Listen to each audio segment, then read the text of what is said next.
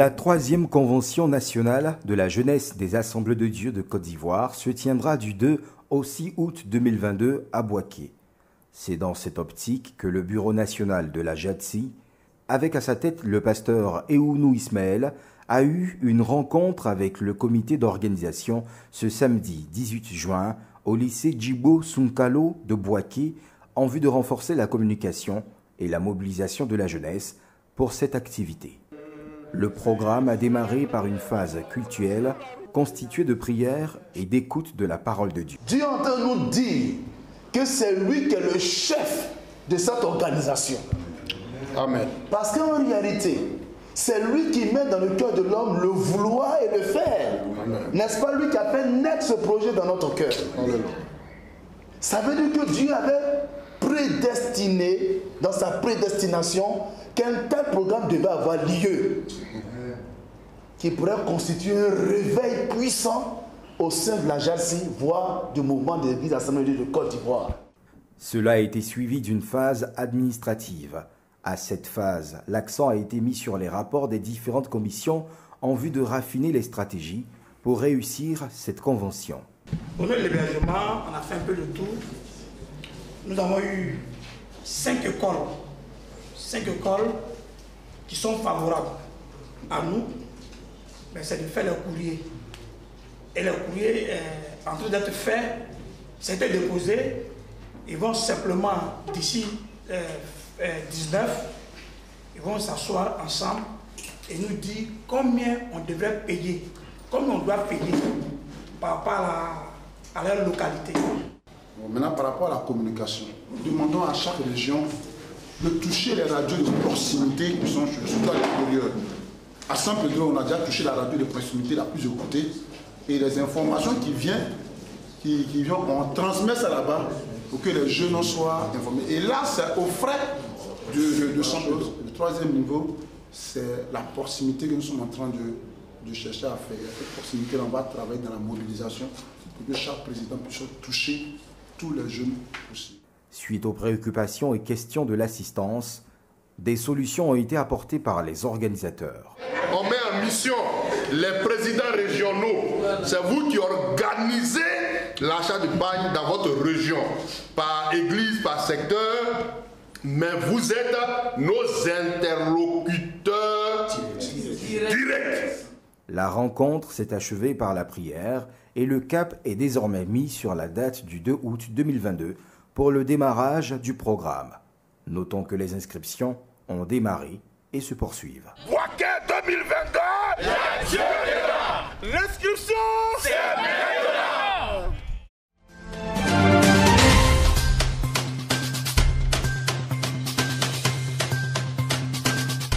L'art d'aimer est le thème qui a retenu l'attention des femmes de la Fédération évangélique de Côte d'Ivoire, FECI, pour les couples à la fin de la semaine dernière.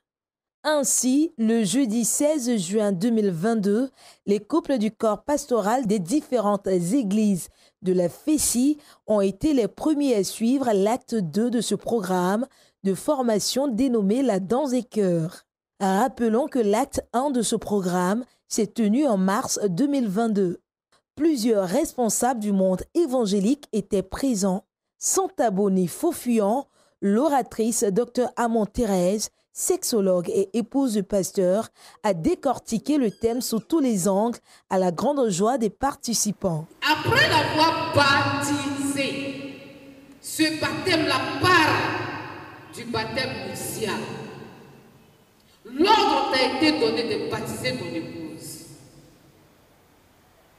Qu'est-ce que vous faites? Vous vous privez de vos épouses quand vous voulez. En amour, nous devons nous rendre heureux. On ne doit pas être méchant. On ne doit pas être égoïste en amour. Il y en a qui aiment qu'on les fasse, mais qui n'aiment pas en faire aussi aux autres. Tu es égoïste.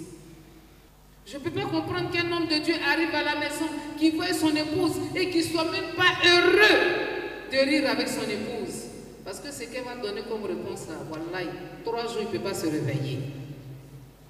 Pasteur, quel est ton rôle dans ce foyer? Si ce n'est pas de l'amour pour lui, vous vous privez de vos maris. C'est vous qui faites les gènes de longueur. C'est vous-même qui créez les tentations. Et vous êtes surprise que vos maris regardent ailleurs, mais c'est des êtres humains comme vous. Seul Christ est Seigneur. Si nous sommes des êtres humains, nos maris, si nous arrêtons de les maltraiter un temps soit peu, ils seront des maris heureux, avec des ministères qui iront de l'avant. Après l'exposé, pour mieux comprendre certains aspects du thème, les participants n'ont pas tari de questions. En attendant de rencontrer les couples laïcs le 17 et 18 juin 2022, l'oratrice et la présidente de la FICIFAM expliquent l'importance et la motivation qui ont permis de lancer un tel projet. Donc il n'est pas encore tard parce qu'il est temps de passer à la réalité et de vivre nos vies de couple que de subir nos foyers. Donc il n'est pas tard. Le temps de Dieu est le meilleur. Nous avons organisé cette rencontre, c'est la deuxième édition d'ailleurs, pour toucher du doigt les problèmes de couple. C'est vrai que la question de la sexualité est restée tabou dans l'Église jusqu'aujourd'hui, mais nous pensons qu'il est temps d'en parler, qu'il est temps d'ouvrir la bouche, parce que cela crée le, le, manque de communication autour de la question crée d'énormes difficultés dans les foyers.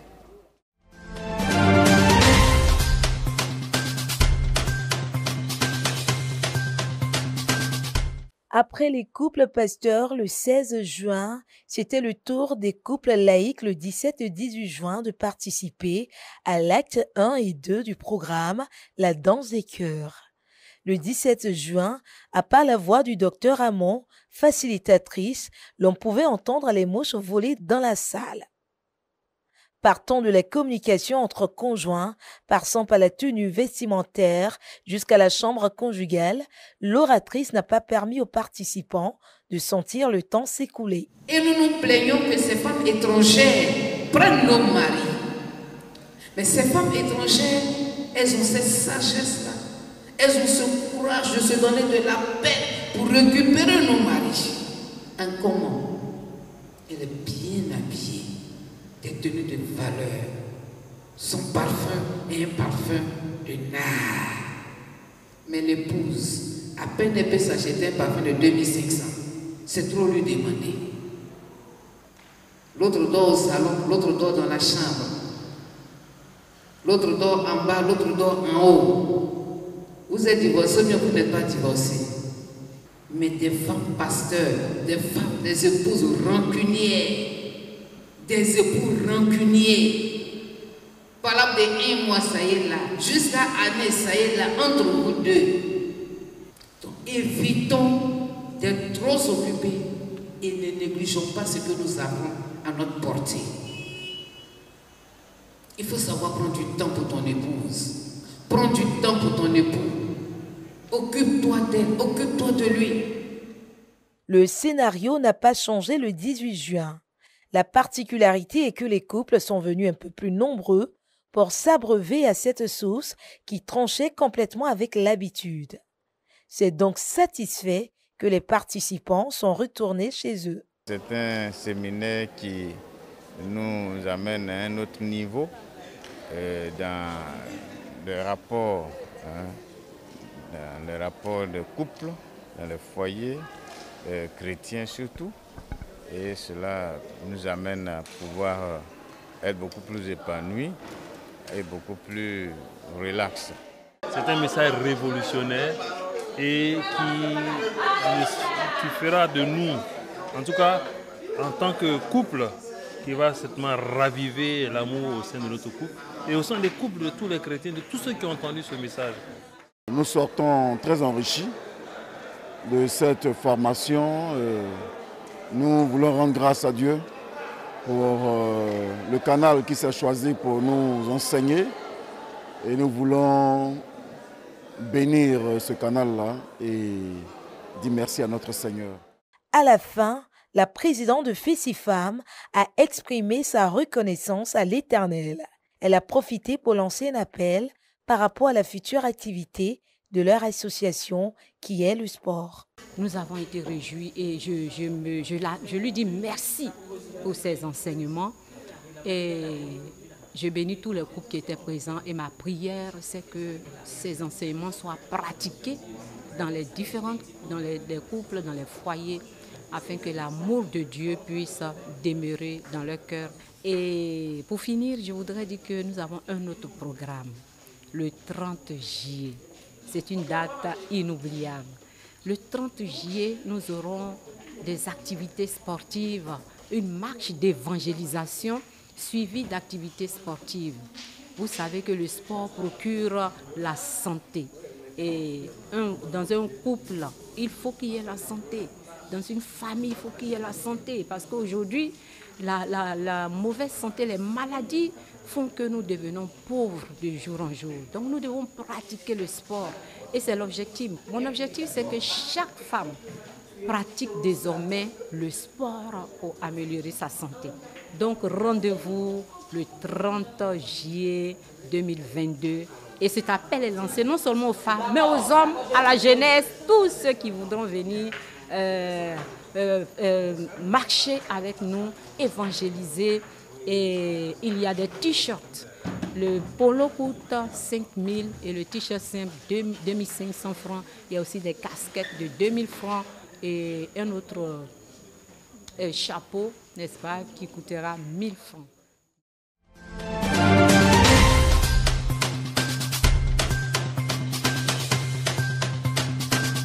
Allez, faites de toutes les nations des disciples, les baptisant au nom du Père, du Fils et du Saint-Esprit, et enseignez-leur à observer tout ce que je vous ai prescrit. Et voici, je suis avec vous tous les jours jusqu'à la fin du monde. C'est dans ce contexte que s'est inscrit la mission Chauffa Vie et l'Église et l'Assemblée de Dieu de Angresta à Saint-Temple-la-Victoire, comme pour confirmer la parole du Seigneur. Ainsi, après l'ouest montagneux de la Côte d'Ivoire, c'est la région de l'Indénié Joablin, précisément le village d'Afalikro qui a accueilli la deuxième étape de la campagne de vie 2022 et ce, pour la période allant du 20 au 26 juin 2022.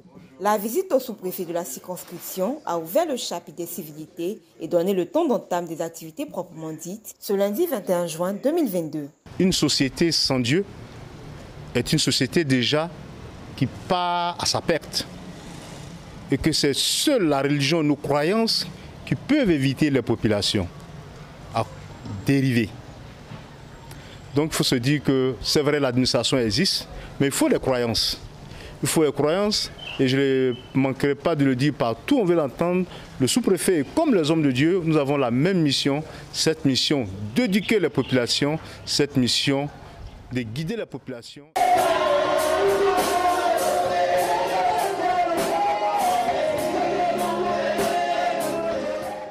C'est par un moment de restauration spirituelle qu'a débuté la première soirée avec pour orateur principal l'évangéliste Yao Thomas.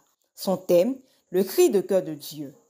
Nous avons besoin d'avoir la vision de Dieu d'abord. Quelqu'un qui n'a pas la vision de Dieu,